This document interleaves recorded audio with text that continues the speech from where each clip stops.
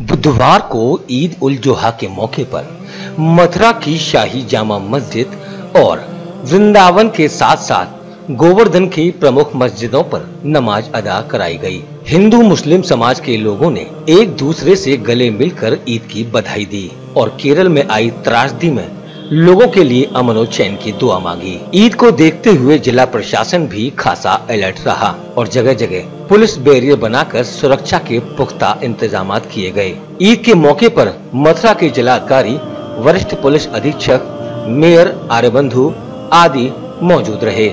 ईद उल जुहा की नमाज़ अदा करने के साथ साथ सभी को ये संदेश दिया गया कि देश में शांति बनी रहे और देश के ऊपर से जो बला है वो टल जाए। जिस तरह से केरल में बाढ़ आई है, अल्लाह सभी को बचाए। हम आपको बता दें कि बकरीद पर कुर्बानी के बाद आज भी एक परंपरा निभाई जाती है। इस्लाम में गरीब और मजलूमों का खास ध्यान रखने की परंपरा है। इसी वजह से बकरीद पर भी गरीबों का विशेष ध्यान रखा जाता है। इस दिन कुर्बानी के बाद गोश्त के तीन हिस्से किए जाते हैं। इन तीनों हिस्सों में से एक हिस्सा खुद के लिए और शेष दो हिस्से समाज के गरीब और जरूरतमंद लोगों को बांट दिया जाता है। ऐसा करके मुस्लिम भाई इस बात का पैगाम देते हैं कि अपने दिल की करीबी चीज़ भी हम दूसरों की बेहतरी के लिए अल्लाह की राह में कुर्बान कर दें। बकरीद को इस्लाम में बहुत ही पवित्र त्योहार माना जाता है। इस्लाम में एक साल में दो तरह की ईद मनाई जाती है। एक ईद जिसे मीठी ईद कहा जाता है तो दूसरी बकरीद। एक ईद समाज में प्रेम की मिठास घोलने का संदेश देती है तो वहीं दूसरी ईद अपने कर्तव्य के लिए जागरूक रहने का सबक भी सिखाती है। ईद उल जुहा या बकरीद का दिन फ़र्ज़ ए कुर्बान का दिन होता है।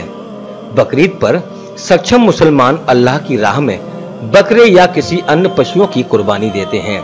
ईद उल अजहा को सुन्नत इब्राहिम भी कहते हैं। इस्लाम के मुताबिक अल्लाह ने हज़रत इब्राहिम की परीक्षा लेने के उद्देश्य से अपनी सबसे प्रिय चीज़ कुर्बानी देने का हुक्म दिया। हज़रत इब्राहिम को लगा कि उन्हें सबसे प्रिय तो उनका बेटा ही है। इसलिए उन्होंने अपने बेटी की ही बलि देना स्वीकार किया। हज़रत इब्राहिम को लगा कि कुर्बानी देते समय उनकी भावनाएँ आगे आ सकती हैं।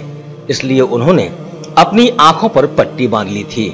जब अपना काम पूरा करने के बाद पट्टी हटाई तो उन्होंने अपने पुत्र को अपने सामने ज़िंदा खड़ा हुआ पाया। बेदी पर कटा हुआ दुम्बा यानी सऊदी में पाए जाने वाला भेड़ जैसा जानवर पड़ा हुआ था।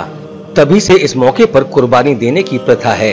इस मौके पर जिलाधिकारी सर्वग्राम मिश्रा ने कहा कि ईद का त्योहार मुस्लिम भाइयों का त्योहार है और ये त्योहार कुर्बानी का त्योहार है। हम लोगों ने सभी प्रशासनिक व्यवस्था में सफ़ाई की, बिजली की और पानी की व्यवस्था की है और अलग अलग समय पर ग्रामीण क्षेत्रों में नमाज़ अदा की जा रही है। अधिकारी अपनी अपनी ड्यूटी पर लगे हुए हैं। एसएसपी बबलू कुमार ने सभी को ईद की बधाई देते हुए कहा कि जहाँ जहाँ नमाज़ होनी थी, वहाँ पुलिस के द्वारा सुरक्षा व्यवस्था की गई है। मेरा बहुत बहुत मुबारकबाद अपने सभी मुस्लिम भाइयों को। बहुत शुभकामनाएँ और बधाई आज इस ईद उल जुहा की मुबारक मौके पर मैं मथुरा जनपद के सभी मुस्लिम और हिंदू भाइयों को बधाई देता हूँ और अल्लाह ताला से उनकी सलामती की दुआ करता हूँ। अमन चैन के इस त्यौहार पर सब सौहार्दपूर्ण तरीके से रहे और सब आपस में प्यार और सद्भावना इस जनपद के लिए प्रेषित करें। जितने वॉल्टियर हैं कदम कदम पर तैनात हैं और सबके सौहार्दपूर्ण वातावरण के लिए हम तन, मन और धन से लगे हुए हैं और पूरे पूरे हर्षोल्लास से ये आज का त्यौहार मनाया जा रहा है अपनी और अपनी शुभकामनाएँ मुबारकबाद आशा करता हूँ भगवान कृष्ण की ये जन्मस्थली ऐसे ही प्रेम और सौहार्द में राजनीतिक दलों से ऊपर उठकर सांप्रदायिक ताकतों से ऊपर उठकर सभी वर्ग जात संप्रदाय मिलकर प्रेम और सौहार्द से मथुरा में करें। साहब आज ईद की उस पर आप क्या करना चाहेंगे? मथुरा भगवान श्री कृष्ण की नगरी है। यहाँ पर सदैव से ही लोगों के चेहरों पर प्यार और प्रेम झलकता है। जैसा कहा जाता है कि मथुरा भगवान श्री कृष्ण की नगरी है तो प्यार और प्रेम की नगरी ही भगवान श्री कृष्ण का नाम है। यहाँ ईद हो, दीपावली हो या होली हो, सारे त्यौहार अमन चैन से मनाए जाते हैं। अमन मथुरा में हमेशा कायम रहता है। हिंदू, मुस्लिम सब एक दूसरे के गले मिलते हैं। इससे बढ़िया और कोई बात हो नहीं सकती। मैं इस ईद के मौके पर सबको ईद की हार्दिक मुबारकबाद देता हूँ।